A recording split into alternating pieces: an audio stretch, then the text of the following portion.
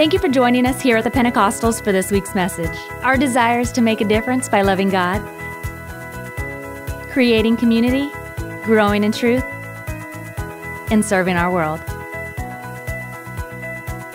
If God has blessed you through this ministry, we want to encourage you to share it with someone and even consider partnering with us to help POR continue delivering God's Word all around the world. Check out our website, porva.org, to discover more about us and our ministries.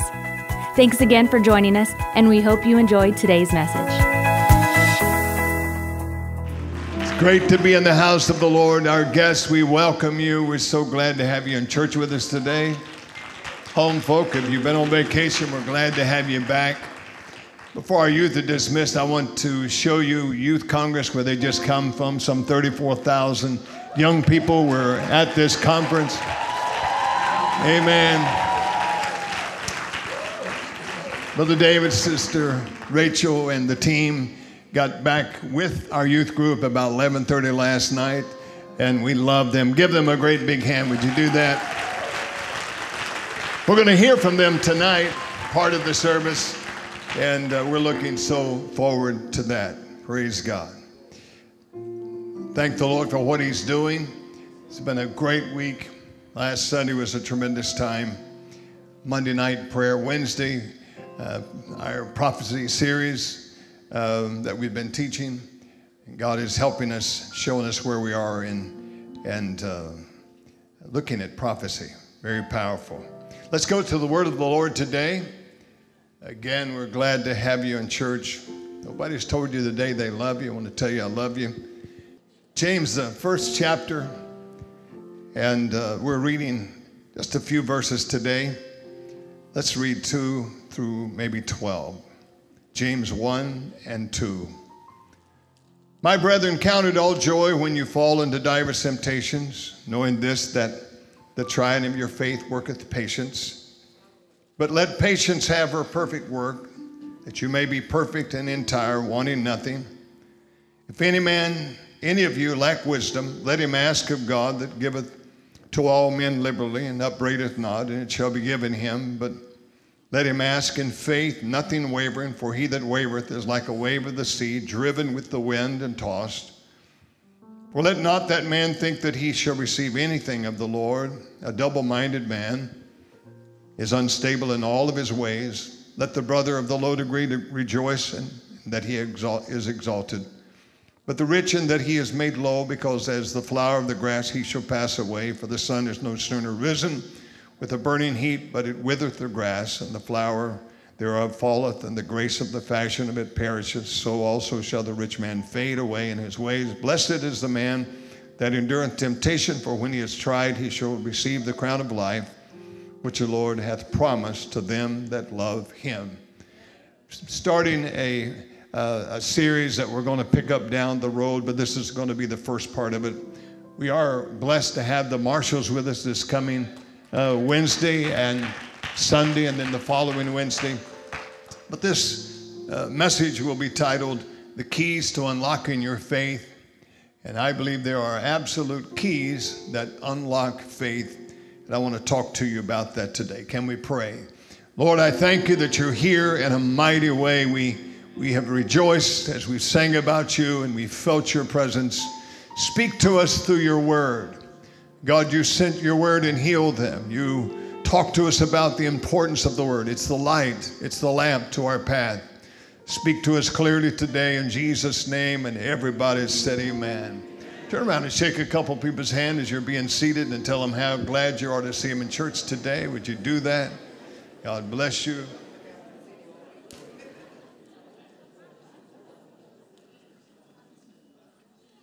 From about 1963 to somewhere around 1997, you were listening to any type uh, television, radio, any program, right in the middle of that program, you could hear, and sometimes we still hear uh, the announcement. The station says, uh, We're going to test the emergency broadcasting system. And we would hear annoying sounds that we wish that we could turn off. And many times we did turn off until we thought they were over. And so it was a, a test of the emergency broadcasting system that lasted maybe 35 or 40 seconds.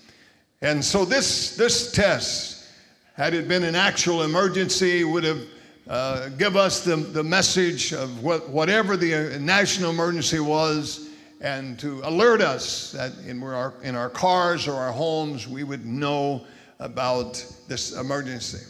I wish there were warnings like that that that just before difficulties, just before disasters, just before problems, just just before troubles T-bone us in our life, that, that we would know, okay, there's trouble coming. Amen. But life doesn't work that way. It just seems that we're going along doing our own thing, and here comes this or here comes that. Amen. There is something significant that, that we need to understand today that, that there is always something that we're going to face in life. If it's not us, it's those that we love, it's somebody that's close to us. And so that there is something that is a fact, and that life involves tests. Tests are part of the process. Before you can uh, get out of high school, there are tests. Uh, before you uh, can go to college, you've got to pass the, a, a test. And uh, before you can get a college degree, you've got to pass certain tests. Before you get to medical school, you've got to take the medical college admission test. Before you can get a job, you've got to take a blood test, typically. Amen. Before you can go to law school, you, you've got to take the law school admission test. And before you get into the military, you, you, have got to have uh, pass a physical test. And so we know that life is full of tests. I want to ask you, how many have you already passed? Some tests, if we don't pass them, we have to take them over and over until we finally pass them. Amen. And so the book of James is basically a series of tests that are uh, designed to not only show how faith works, but to prove that faith works. I hope today, through the word of the Lord, to convince you before this day is over that faith really does work. Amen. There's a difference between a, a true faith and a false faith. Real faith and counterfeit faith. God knows. Somebody say, God knows. He knows whether our faith is fickle or our faith is real. He knows whether uh, it's working on the inside or it's not working. Sometimes we can tell whether faith is working from the outside of a person, but God looks on the heart.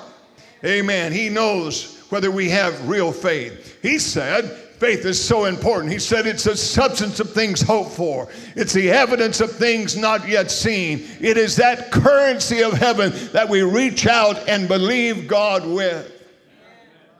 James begins to certain, take certain situations that actually show up in real life. He shows us how a person who has real faith would respond to those circumstances. Sometimes our countenance fails us or reveals who we really are or really what we're thinking. More often, our words reveal. but here is the question What would your faith look like on the outside if it was real on the inside? And that probably explains why, in this little short book we call the Bible, that there are so many imperative verses that are telling us what to do and what not to do. Because if your faith is real, then in certain situations you will respond in certain ways because that's exactly how faith works. I want to preach to you today something practical, something that you can use in your real life. Not some mystical, amen, revelation, but the real truth that James is wanting us to understand. Amen. James doesn't fool around, he gets straight to the point. He goes right to the most difficult and toughest test of faith, and that is troubles. Oh, we'll find out what we're made out of when we find ourselves in trouble. When trouble comes our way, then we have to reveal whether we have really got faith or whether it's not the real deal. When things go south, when things go sour. Anybody can claim to believe in God and trust in God and have faith in God when the sun is shining. It doesn't take a lot to, to, to uh, have faith when things are going good, when there's plenty of money in the bank, when you're healthy as you can be, when the family is all singing the same song, when everything is good. But when you can tell whether a person has faith is when the storm comes. Amen. So we're going to learn today that how to handle trouble will reveal whether your faith is living or whether your faith is dead or whether it's genuine or whether it's counterfeit and how to get your faith back on track. Amen. Amen. Sometimes people have faith that's all talk but no real walk. They make a profession of faith but not take real possession of faith. Inevitably, the trials of life have seemed to burn their faith away. But God uses trouble to test our faith and to see whether it's real or whether it's the tough faith or whether it's the superficial faith. He tells us how real faith works when the chips are down, when things are really tough when life is unfair, when people are unfair, whether there are prejudices or, or things that people have done to hurt you to the core. When it appears that God has gone completely missing. And when we prayed and there's no answer, when we, when we try to reach out in faith and it's like there's no response, it's something that God allows many times in our life to see what we're really made out of. Oh, there's no man that wants to be married to a woman that, that every time trouble comes, she runs out with another man. Or vice versa. And God said He's a jealous God. He wants to know what you're really made out of. He wants to know if you're going to stand when the test comes. Here's how faith, here's how faith works in times of trouble. If our faith is real, troubles will, are you ready? Strengthen our faith. Troubles will strengthen our faith. The first half of verse 2 is, is it takes us a little while because it, it gets, honestly, it sounds impossible.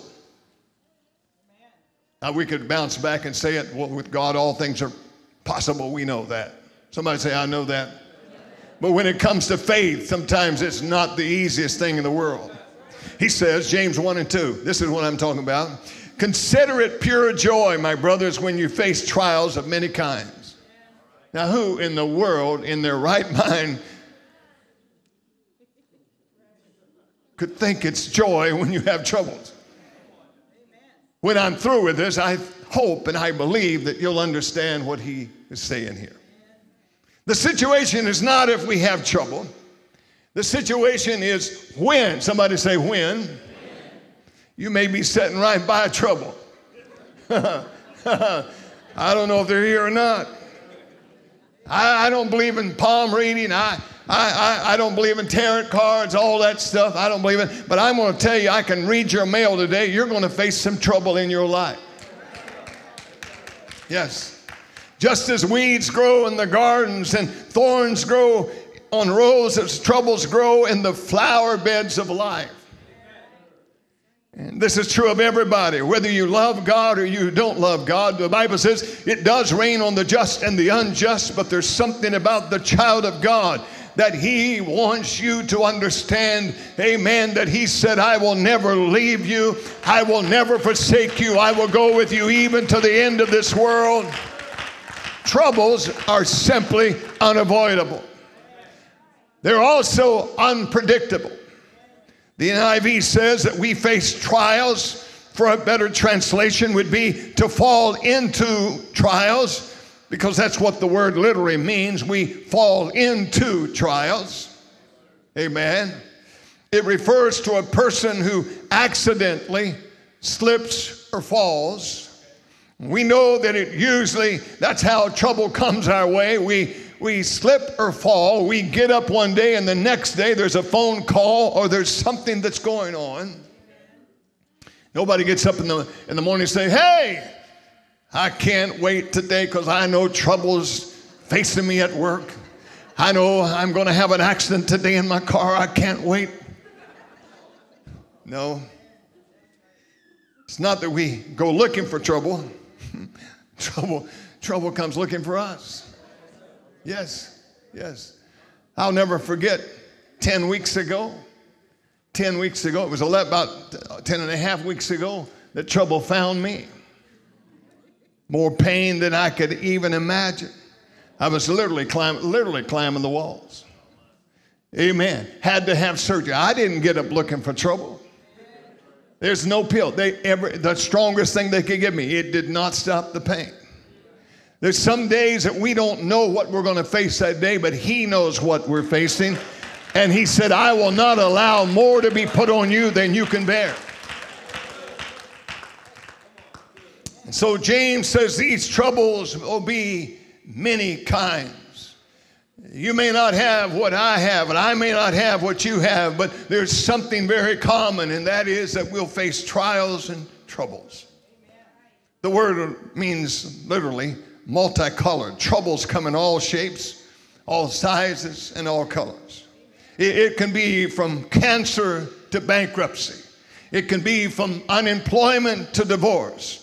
It can be physical problems. It can be financial trouble. It can be marital trouble. It can be trouble with the kids. It can be psychological trouble. It can be spiritual trouble. We could just spend a lot of time talking about the troubles that we could face.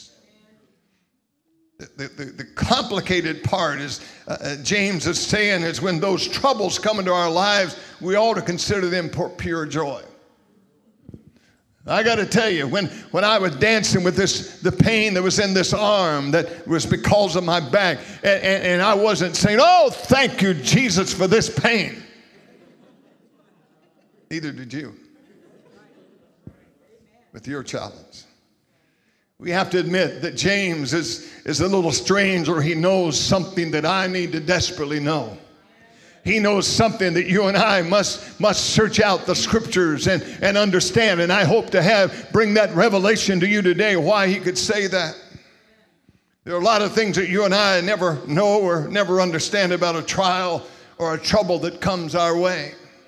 There's one thing that we can know. James 1 and 3, the NIV says, because you know that the testing of your faith develops perseverance. The word test, everybody say test.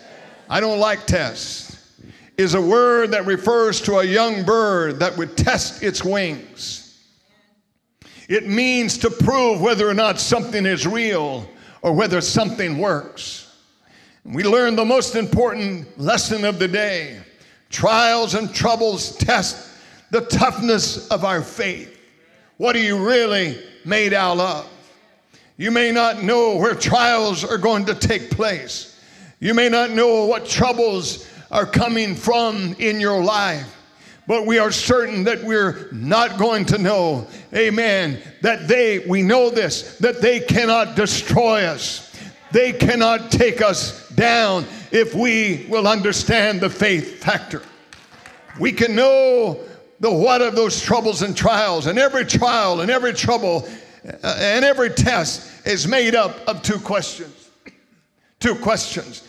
You need to remember that God is asking you these two questions every time you are T boned by trouble. Number one, do you trust me or not? Do you trust me or not? And then number two is how much do you trust me? You see, when it comes time to decide on what we're going to do, we need to make up our mind.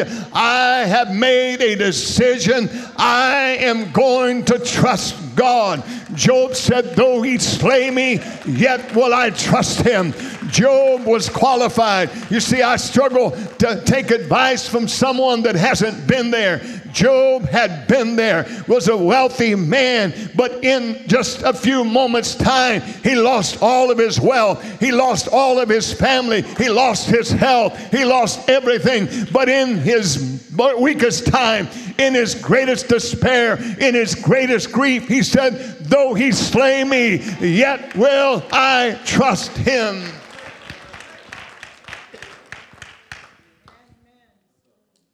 There's another benefit of perseverance. James 1 and 4, the NIV. Perseverance must finish its work so that you may be mature and complete, not lacking anything. Now, if you're a parent, you'll get this.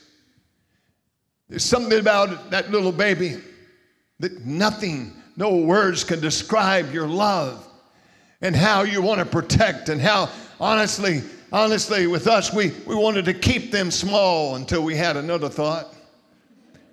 I don't want them to be small. I, I want them to mature. I want them, I don't want them to be, you know, six foot two and be in the third grade. You understand? There's something about maturing. And so, one of the goals that we must have for our children is that, is that they mature. And as much as we love them and we, we want them to remain children the rest of their lives, we, we look at the big picture. And God has a goal for us also to mature. Could it be that we are spiritual Christians that are still, we've been in this thing 15 years and we're still in the third grade? God is saying you've got to pass some tests. There's some tests that you've got to pass to continue to go forward with me. God is in the faith growing business. Would you say that with me? God is in the faith growing business. Every trial, trouble, tribulation that comes into your life is a test. What are we going to do? Here come a trial. Here comes something that makes no sense. Here comes something that's not fair. Life is not fair. We need to accept that. So, who are we going to blame? What are we going to do? Good times don't test our faith. We need to get that straight. Because someone is smiling and jumping and, and uh, uh, enthusiastic, and they got a smile as big as you can believe, and, and they live like that. That's not the real test. The test is when the rug is yanked out from under them. The test is when they get a bad uh, doctor's report, amen, or when things are not well. Good days don't drive us to God. Good days, if we're not careful, take us away from God. But it's the bad times when your faith grows the most. It's the bad times when, when we have to reach in and somehow get a hold of God. We've got to get a word from the Lord. Faith grows the most in times when it's the most difficult times to exercise it. If you would just come and give me a word of encouragement, if you're just speak into my life, if you just come and tell me it's going to be okay. There's times that we stand on an island all by ourselves and it's like God doesn't even care. Faith is like a muscle. Anybody working out still? You started first of the year. I know it lasted three and a half weeks, but amen. Amen. Faith is like a muscle. You work, I got you then. You work that muscle, you work those muscles. Amen. And, and it begins to begins to work. Faith is like a muscle. Amen in order for it to grow, it has to be stressed. Stressed. And then it has to be stretched. And then it has to be strengthened. Stressed, stretched, and strengthened. Oh, we get to the stress part. Sometimes we live with the stress part. Amen. So many times we want to avoid trials. We want to escape trials, and when actually it's the trials that we sometimes need the most. I read a story about a young boy that had discovered a cocoon in a tree, and as he was watching that cocoon over several days, he saw what he had been waiting for inside of that flimsy shell was a newly formed butterfly. But this, this thing was trying to get out and it was struggling. And so the boy, thinking that he was going to do the butterfly a favor, he took out his pocket knife and he cut a hole in the cocoon. And the butterfly, butterfly, butterfinger, butterfly, amen, amen, fell out, but he, but he didn't fly. He didn't fly. The boy thought he was helping him because he helped break him free of that that was confining him. But the, but the butterfly couldn't fly. What the boy didn't know was that the struggle to escape was designed to strengthen this butterfly, this muscle system, so that when he did come out, he could fly. It was building strength in those, in those wings. It was something that, that was hurting, uh, hurting him, it seemed, and, and it was difficult, but that was building strength that when he got out, he would know how to fly. God wants you to be able to fly in the obstacles of time, in the obstacles of life, but those trials somehow build a foundation in our lives that allow us to fly. I will tell you the, the book that my wife wrote, Some Mountains Are to Climb could begin to talk about the storms, the storms that come into our life at different seasons of our life. And I will tell you, it was like God was a million miles away. And if you love me, I wouldn't let my dog go through some of the things you're letting me go through, Lord. But He knows what's best. And I wouldn't be standing in front of you preaching the word of God to you today, amen, and telling you you can be an overcomer if somehow I hadn't already proved that He is faithful. God knows that when we fight through difficulty, through struggle and trouble, that our faith grows and our faith matures. It's how we can tell our babies, baby, let me just tell you something. Mama was burning up with fever, or you were burning up with fever, and I, man, it was too far to get to the doctor. It was too far to get to the hospital. So all I could do, I just began to pray for you and call on the name of Jesus. Your favorite fever was dangerously high, but God came through. Here's how faith works. When the troubles and the trials and the tribulations hit us broadsided, we may stagger for a moment. We may even complain for a moment. But here's what real faith says no matter what is happening to me, God is doing something in my life. Trouble had to come through God to get to me, so God knows I'm strong enough amen, that I am strong enough to make it through. He's going to take this bad and turn it into good.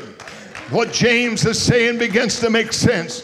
When he says, consider it pure joy, the word consider means to think ahead. It means to think through. When you realize that God is what he's doing through a trial and what he's doing through a, through a trouble, to put it in proper perspective, even though you may not feel joy and probably won't, you can at least consider it a joyful opportunity for God to do a new work in your life. I don't know where uh, what's coming out of this. I don't know how good can come out of this, but you see on the other side. So you allow this circumstance to come. You're not punishing me. It's not, amen, something that you're trying to destroy me with. But on the other side, you must have seen that I needed this faith builder.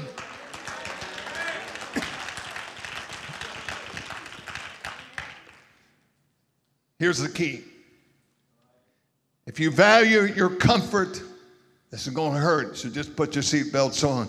If you value your comfort more than you do your character, if you value your feelings more than you value your faith, then trials and troubles and tribulations will drive you away from God. Good enough, important enough to do it again if you value your comfort more than you do your character, if you value your feelings more than you do your faith, then trials and troubles and tribulations will drive you away from God. There are many people that have got offended with God. There are many people that did not under. You ever been misunderstood? You ever been just as plain as you could be, but someone misunderstood you? There's a lot of people misunderstanding God. But God has our best interest at heart. He has never failed. His wisdom is above all man's wisdom. His ways are perfect. Many have left the Lord, left the church over many, many years. I'm talking about Christianity. I'm talking about that, that, that because of things that happen in their life they don't understand. So if you value your character and your faith and your walk with God more than any material or physical. And then you'll be able to count troubles as joy because you know that it grows your character. No matter what I'm going through, no matter how embarrassing, no matter how painful it is, God, I trust you. I don't feel good. I don't like it when the lights are off. I don't like it when my car's broke down. I don't like it when, amen, this is going on. But I'm going to trust you. Though he slay me, yet I will trust him. There's another thing that trouble does when our faith is real. Number two, it changes our focus. It changes our focus. Some kind of strange thing happens as James is talking about how the test of troubles brings out the best of our faith. Then he begins seemingly disconnected. He starts talking about wisdom. Somebody say wisdom. James 1 and 5 If any of you lacks wisdom, he should ask God, who gives generously to all without finding fault, and it will be given to him. Now, what in the world does trouble trials and wisdom and tribulations have to do with each other. The first question we always ask the moment something goes wrong in our life, the first question we ask the moment we get T boned by trouble is, Why is this happening to me? Why couldn't it happen to him and her? Because I've already got my list. It's about this long. Their list is only about this long. Why? Somebody say, why? Sure, we ask why. What in the world, amen, is this happening? Why? James says that is exactly why you need wisdom. He talked about trials, the tests, and tribulations, and then he talks about wisdom. You need wisdom to understand how God uses difficulties in life to test your faith and to toughen your faith. That's why you need more than just knowledge. That's why you need more than just intelligence. That's why you need more than just more book learning. You can have high IQ and not be wise. Albert Einstein without the, said, without the knowledge of God, man is just a brilliant fool. Yes. Wisdom is not just common sense. It's not just what country people call horse sense. Of course, you know what horse sense is it's what keeps horses from betting on people. Yeah. Amen. What you need when you're going through difficult times in your life is the ability to see life from God's point of view, view because we are so human and we look through carnal eyes and all we can see is the problem, but somehow God wants us to lift up our head. Lift up our head and see beyond the circumstance and see the God of all circumstances. Amen. Amen. Wisdom is Exactly. It's that important, uh, that irrefutable imperative of every child of God. We need wisdom. Somebody say, I need wisdom. You'll never understand how badly you need wisdom until you grasp the truth. Wisdom comes only from God. You can't study more. You can't take more courses you, and get more wisdom. Job 28 and 20 asks the question Where then does wisdom come from? Where does understanding dwell? The answer is found in three verses later. God understands the way to it, and He alone knows where it dwells. And when we are going through difficult times, and you ask God to give you wisdom to see what is happening from His point of view, you then realize how real faith responds. Real faith doesn't say, Rescue me. Real faith says, what are you doing in my life? God, I want to pass this test. I want to go through this thing without grumbling, without murmuring, without complaining, because I know that when I come through this test, I'm going to be better than I was when I, when I started the test. You've been taking something out of me. There was pride in me, there was some foolishness in me. You allowed me to go through this test not to get bitter, but to get better. Real faith doesn't ask, Where's God? Real faith asks, What is God doing to me? And God, what are you saying to me in this storm? Then James gives two practical examples of two type people who need wisdom and how to handle difficult circumstances. He talks about people. He talks about poverty. He talks about difficult circumstances and, and then he talks about prosperity. James 1 and 9 NIV. The brother in humble circumstances ought to take pride in his high position. But the one who is rich should take pride in his low position because he will pass away like a wild flower. The sun rises with scorching heat and withers the plant. Its blossom falls and its beauty is destroyed. In the same way, the rich man will fade away even while he goes about his business. There are two things I believe that are difficult to handle one is poverty, and the other is plenty. One hand, we've got this person who is going through a tremendous trouble and struggle in life, doesn't have money to buy his way out of it, and it's just a struggle to have money to do even necessary things at times. On the other hand, you've also got the, the one that's rich, but he also is going through a, a type of trouble that all the money in the world can't buy it either. Never forget the man that I bought the company from many years ago. A prince of a man, a prince of a man, a wealthy man. Never forget, not long after I bought the company, he had had a severe heart attack. I went to the hospital to visit him. Loved that man. My wife and I loved him and his family dearly. I'll never forget him saying, Joe, all the money that I have in this world, I would give to have your health. I can't buy it.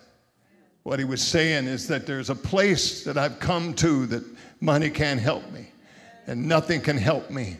Only God can help me.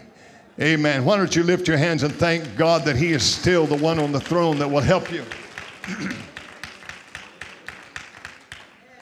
James' point is whether you have a little or whether you have a lot, whether you're dealing with prosper- prosperity or whether you're dealing with poverty, amen, you need wisdom in all of these things. Amen. There are some things that nobody can fix, but oh, it's good to have somebody on your side that can take care of you at any time. Dr. Elmer Towns many wrote many books, 167 books, knows much about religion. He knows much about church growth and building churches in America. And he says the biggest problem the church is facing today is our people have too much. His studies across north, south, east, and west. He is at, at the dean of the School of Religion at Liberty University. He said, Our people today have too much. They're too prosperous. And when you get prosperous, you forget about your need of God. Amen. Amen. Spiritually speaking, I'm convinced that we as a people sometimes forget God. I've said at times as I've prayed for our people, how much can you trust them with? Because at a certain point, money becomes the God and they begin to follow the money instead of the blesser, the one that has given them the blessing. I heard about an elderly gentleman who had won a million dollars in the lottery. he wasn't a church member, but he'd come every now and then. He had a terrible heart condition. His family was afraid to tell him, Paul, you won a million dollars. He thought he would die right there. So they called the pastor of the church where they went and, and they said, Will you go and tell, tell grandpa that he won a million dollars in the lottery. The pastor drove up to the man's farm. This gentleman was sitting on the front porch smoking a pipe. He walked up, pastor did, sat down with him, made some small talk, and the old gentleman said, Preacher, why are you at my house? He wanted to know. He hadn't been there before. Hey, what are you doing? well, the preacher said, I was just driving. I, I thought I'd stop and ask you a question. What's the question? Somebody told you they just won a million dollars in the lottery, told you that. What would you do? He said, That would be easy. Preacher, I'd give every dollar of it to the church. The pastor died of a heart attack right there.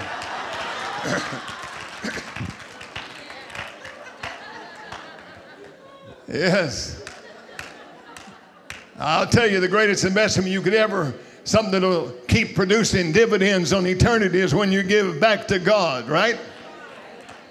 Bad times seem to drive us to God. They force us to come before Him and say, Lord, I can't handle this. I, amen, submit myself to you. I humble myself before you and say, I don't know how to fix this. My family's in trouble. My situation is out of control. I need your help. The word of God said, the scripture says, if my people which are called by my name will humble themselves and pray and seek my face and turn from their wicked ways, he said, I'll bring healing. I'll bring deliverance. I'll show up. We don't understand. There's a lot of things that we don't understand. But it won't matter when we get on the other side. There's things that we say, well, I, have got a list. I'm going to ask the Lord. I, I, I've, I've said the same, but I have an idea that all of that, none of that will matter when we, when we cross to the other side. We walk on those streets of gold we get to see our Savior. Amen. So when you really believe God, even in the midst of trouble, you'll find that troubles will strengthen your faith, change your focus, and thirdly, are you ready? Blesses our future. Blesses our future. Blessed is the man, James 1 and 12, the man who perseveres under trial, because when he has stood the test, he will receive the crown of life that God has promised to those who love Him. There is a tremendous, unbelievable, and almost indescribable blessing that is waiting on people that get up when they've been knocked down people that get back up and say, I trust you, God. I don't understand. It doesn't make sense. It hurts. Yes, it hurts, but I still trust you. And at the end of life, that it, those that have remained faithful and steadfast, believing and trusting God, no matter how difficult times have been and troubles have been, oh, God loves that. Because your faith is not in just man not just in the almighty dollar, not just in the job, not just in the economy, amen, not just in Uncle Sam, but our trust is in Him. God says to every one of us, no matter how deep, no matter how hard, no matter how heartbreaking the trouble might be, if we refuse to buckle under the circumstances of life, but we keep on believing God, you get our heads back up. We trust God, we obey God, we serve God. He says, in the end, you will receive the crown of life. I don't know what that crown looks like. I know he's talking to the blood bought. I know he's talking to those that have been born of the water and the spirit and are living holy lives. I know that's what he's talking about. But but but this crown of life, there's no earthly reward that could compare to it. Anybody who's been to school knows what it means to be tested. We've all been tested, and and uh, but but I'm, I've never thought about that so much that that to, when we when we see that God has something that is so spectacular individually for us that it's beyond our comprehension that He has waiting on us on the other side. Trials the adversary wants to get in them and make them look bad and make them look like that God doesn't love you and make you begin to pity yourself and begin to get depressed and, and allow all of those things to come in. The enemy will come in like a flood, but the Spirit of the Lord will raise up a standard if you allow him. Advancement comes through tests. receive a reward in the form of a diploma, high school, or a college degree. We always know that the truth is that any test that comes, there's always a time when the teacher says, Put down the pencil. I know, but I can't because I'm not. Oh, yes, you put it down. Amen. The test there's a purpose for that teacher taking your paper and grading it, whether or not you pass the test. There are many tests that we have been through in life, and there are other tests that we'll face in our life. And real faith says when everything comes up wrong, when all that could be lost is lost, and everything that could go wrong has gone wrong, I still trust you and I still love you. I will pray in the morning just like I did before this storm. I will pray, amen, in the evening just like I I did when everything was good. I will still be in the house of God. I'll be faithful to God. I'm not going to take it out on God because faith says I'm going through something. It's easy to get out of marriage. Just take off. You through? Adios. But there's consequences. And there are many that have bailed on God because they didn't understand God. They don't know God. They don't know His ways are as high as heaven is above the earth. But He gave us a roadmap if we'll get in this book and understand that He is with us. I will never leave you nor forsake you.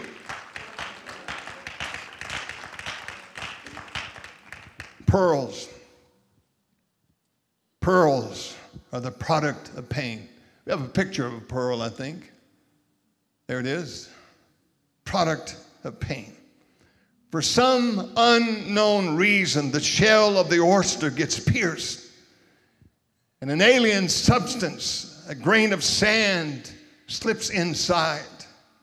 And immediately, that, uh, that, that sensitive body of that oyster goes to work, releasing healing fluids that otherwise would have remained dormant. And that irritant is covered, and the wound is healed by a pearl. No other jewel has such fascinating history. A pearl is a healed wound and one of the most precious jewels on earth, conceived by irritation, born in adversity, nursed by adjustments, no wounding, no irritation, no covering, and no pearl. Think about this. Has ever occurred to you that God says at the entrance to that home that we are looking for one day, heaven, the gates are pearl? I thought there'd be more responded than that. You thought about heaven lately? The gates. There's something about that storms that we've been through, if you could only see past this time. Let me help you understand. If we live to be 127 years, that is only like one little grain of sand in all of the oceans of time. There is no thing in eternity called time. There is no end. Amen. Today is the day of salvation. Today is the day to get our act right with God. Today is the day to say, God, though you slay me, though things are going wrong, I'm not going to go back to drugs. I'm not going back to alcohol. I'm not going back to strip joints. I'm not going back to pornography. I'm not going back to anger. I'm not going back to being mean and evil.